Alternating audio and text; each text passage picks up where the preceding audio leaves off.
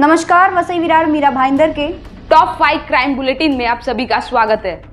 नाला सुपारा में दिन ब दिन बढ़ते जा रहे चैन स्नैचिंग के मामले लाखों का चैन छीन फरार हुआ आरोपी शिकायत हुई दर्ज। मीरा रोड के नया नगर के रहने वाले एक व्यक्ति के घर से दो फ़ोन और डॉक्यूमेंट्स चोरी कर फरार हुआ चोर मामला हुआ दर्ज।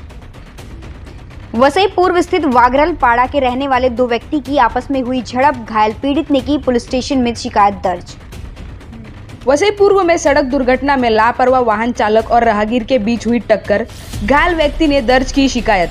मीरा रोड स्थित नया नगर में रहने वाली एक महिला ने पति और ननन पर मारपीट के लगाए आरोप। शिकायत हुई दर्ज। अभी के लिए बस इतना ही। फिर होगी मुलाकात। तब तक के लिए नमस्कार।